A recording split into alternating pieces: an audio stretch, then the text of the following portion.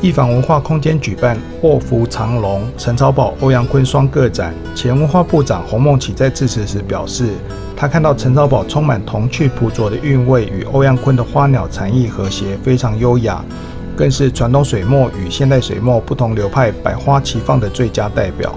这次呢，跟陈朝宝老师我们两个人展出来呢，原先讲好说，呃，我们的主题就做全方位的。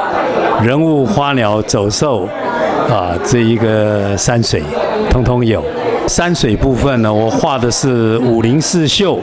那当然，绘画跟实际上的风景呢，还是会有一点点的差距。我们必须有新的构图，自己心里头的想法啊。呃，除了武林四秀之外的山水呢，有一个豆腐岩啊，是在滨海，另外一个海浪。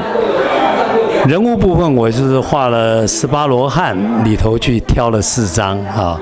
那这两年因为疫情的关系，我画了这一个明末清初父亲本的这一个三色观音像，还有十八罗汉，做了很多考据的工作，才发觉，呃，从宋元之后，这个所谓十八罗汉已经从印度人变成中国人了。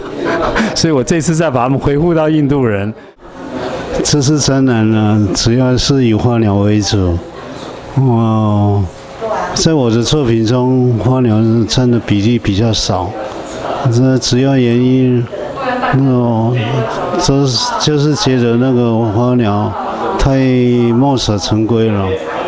我家旁边刚好有一那国溪啊，啊，我喜欢散步是在傍晚的时候，嗯，看野花野草啦，也有。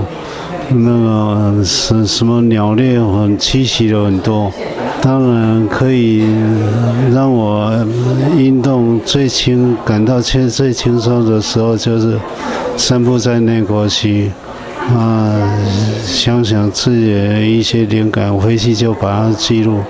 所以这次展览主要是十几张都是属于这一列的，这一张是比较特殊的作品。啊，我得了帕金森症已经五六年了。那这几年来越发右手越严重，几乎无力拿笔。真的有时候感到自己无法拿笔作画，心情一直是时候很消沉。